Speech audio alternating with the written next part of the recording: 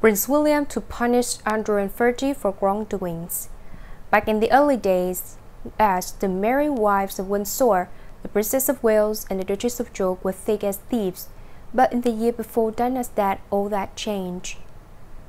Fergie got too big for her boots and seemed to make it her mission to humiliate Dee, an insider sensationally claims to New York ID royals.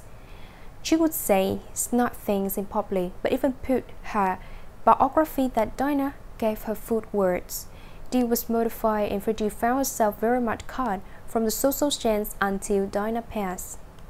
Now, despite being divorced from Prince Andrew, Fergie 60 is sitting pretty in the Royal Lodge at Windsor alongside X, though, thanks to the treatment of Diana, she shouldn't get too much comfortable.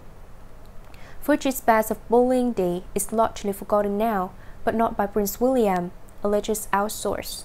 He never liked Fergie in a passive, aggressive way. He's heard all about how fractured things got between her and his mom. Of course, he's determined that Diana shall get the last word in, even from beyond the grave. William 38, who is second in line to the throne, has been given unprecedented amount of power within monarchy by his grandmother, the Queen, who is anxious that he is prepared for taking the crown at any moment. She's 94 and Charles is 71, so she has very wisely begun letting William taking the reins already, says the source. And one of this first order of business is examining just what exactly is the point of Prince Andrew, who obviously has stepped down thanks to his murky dealings with pedophiles and alleged sex traffickers, and is his ex-wife who's clinging to the royal coat toils and purse.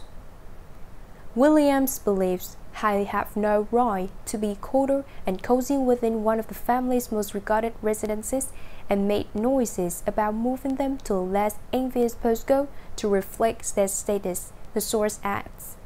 Fergie has suspected this is William's way of getting revenge on behalf of Diana. He's so like her in so many ways. Of course, William wouldn't admit outwardly that his motivations are petty, but getting one back on Fergie has to make him feel very closer to the mom he lost in such a young age. For more, pick up the latest issue of New Idea Royals out now.